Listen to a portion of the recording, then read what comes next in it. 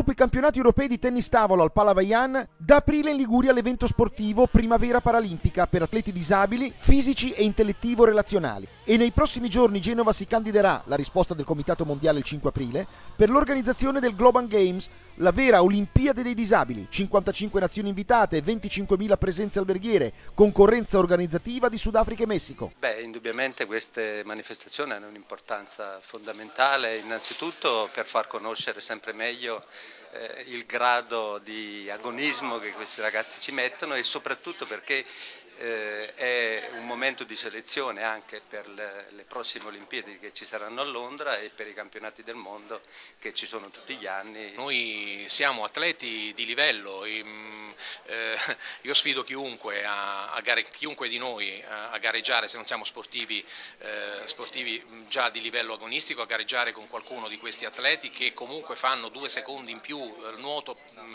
a, a Pelfs, non è che, eh, che, che stiamo parlando di, di, di, di cose enormi, oppure sfido chiunque a gareggiare in salto in alto con un atleta che salta su una gamba sola.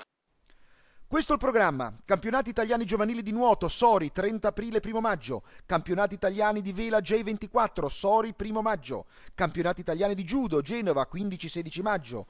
Campionati nuoto Inasfid, la manifestazione sportivamente più importante in quanto europea, a Loano, dal 13 al 20 giugno. Nel passato è stata quella con eh, la Friendly, la vasca lungo un giorno, col disabile, con la Synchro Cup e con altre manifestazioni di nuoto.